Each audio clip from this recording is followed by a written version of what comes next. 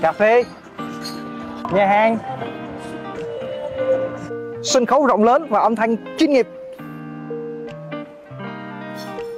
Kia chắc ờ, mình thu hồ về luôn.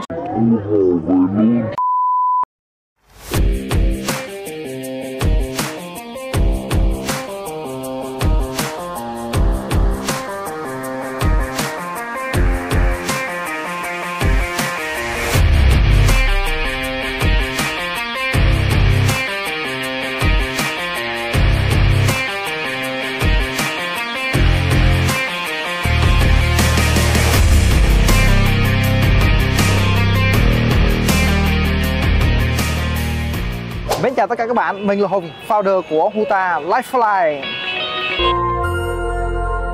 Và ngày hôm nay tiếp tục trong cái chuyến hành trình bảo trì của Huta Hùng sẽ đưa các bạn đến một cái nhà hàng mang âm hưởng địa Trung Hải. Nơi đây có một cái không gian cực kỳ mở và cực kỳ thoáng đẳng La La Land, Hồ Con Rùa. La La Land, Hồ Con Rùa là sự kết hợp giữa cà phê, nhà hàng sân khấu rộng lớn và âm thanh chuyên nghiệp.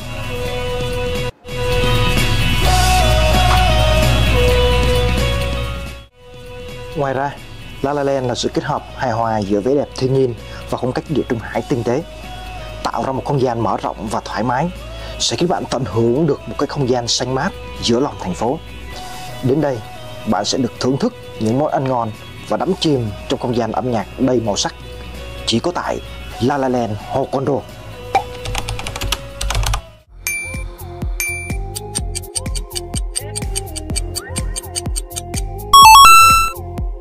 à, bên mình tới à, kiểm tra thì La Land mới chỉ sử dụng 20 cây thôi. Và 20 cây à, vẫn đang còn mới vẫn đang còn trong hộp à, như thế này đây.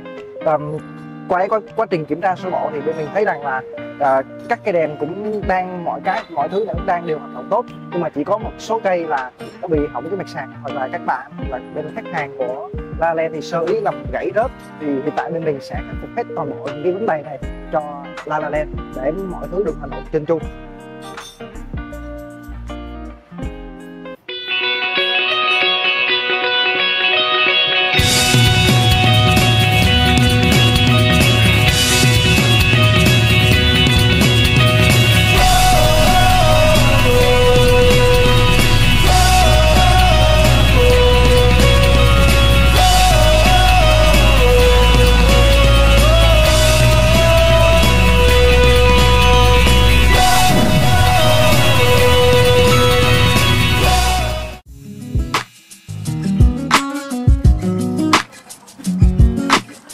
cây đèn này tức là cái nước sơn của nó tức là nó không được bám chắc giống như mấy loại kia. Mười mười ba cây và hai mươi ba cây còn mười cây mới thì không có nhé. Bảy cây và bảy cây là cây sẵn rồi.